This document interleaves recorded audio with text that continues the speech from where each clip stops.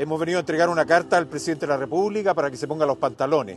Con una diputada que hizo una serie de llamadas telefónicas a carabineros interviniendo por una persona connotada, como dice ella, y la sanción fue 270 mil pesos de su dieta.